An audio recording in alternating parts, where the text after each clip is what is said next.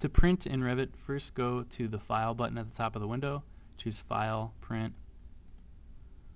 In the Print window, um, at the top is a pull-down menu where you can choose the printer you want to use. Uh, if you click the Properties tab, this will let you set up uh, the options for the printer itself, its page size, um, its rotation, and copies. Um, click OK. Next would be the options category where you can um, change how many copies of the print you want to make. In settings, under the options, if you click setup, you can start to um, put in the options for its paper size. Uh, in this case, if I go with a 12 by 18 paper size, um, the project is set up for a 24 by 36. Uh, if I go down to zoom, I can set its zoom either to fit to page or in this case, since it's a half size, I'll change the zoom uh, to 50%.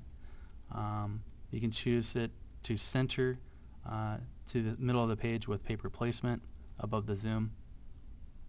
The options category in the bottom um, allows you to make certain annotations visible or not. It's reference planes. Um, hide unreferenced view tags is pretty handy.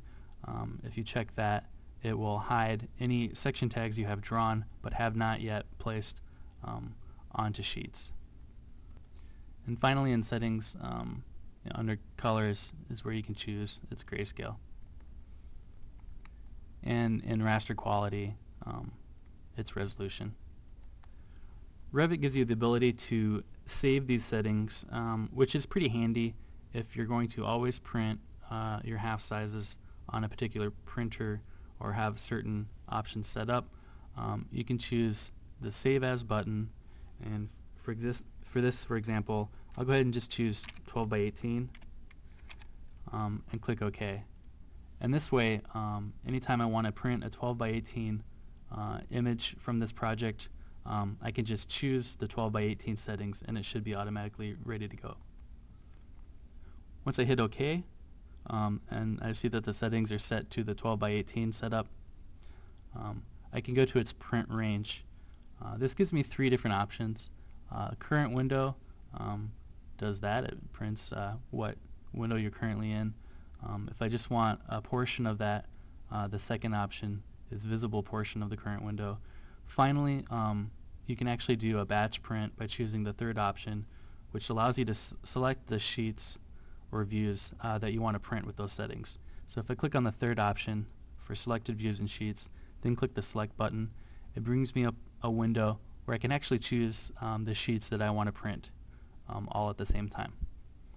Uh, one tip is in the bottom of the window, if I uncheck views, uh, it narrows down the list uh, pretty quickly for me to just the sheets that I have set up for the project.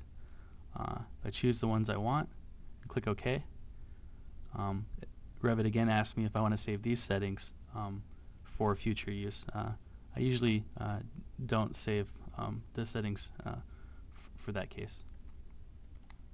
Once you have all the options set up for how you want, click OK, and it should print for you.